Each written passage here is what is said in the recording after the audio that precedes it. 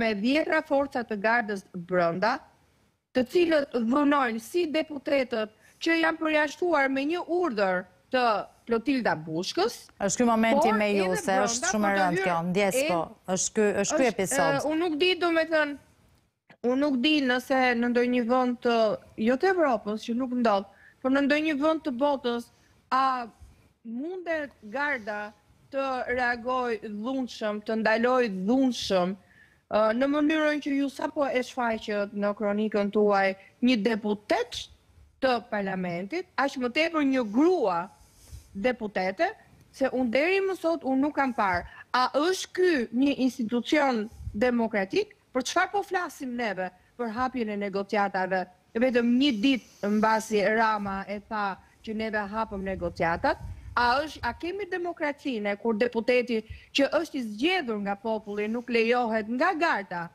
që të hyjë në parlament, jemi në një juntë pra, sepse garda vendos me urdhër të Edi Ramës dhe Elisa Spiropalit, vendos të hyjnë apo mos hyjnë deputetët, t'i dhunojnë ata. qoftë jashtë, qoftë brenda, qoftë deputetët që i kanë përjashtuar, qoftë deputetët që nuk i kanë përjashtuar. Është skandaloze, është skandaloze kjo. Të ndalohet një deputete që të hyjë dhe ja e shifni prapë juve po i përsërisni, që të hyjë në, në, në sallën e seancave.